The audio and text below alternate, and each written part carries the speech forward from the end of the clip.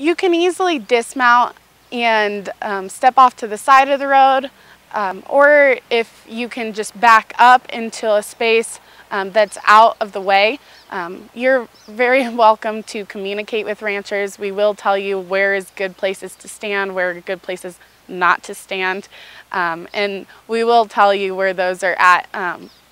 and help you out.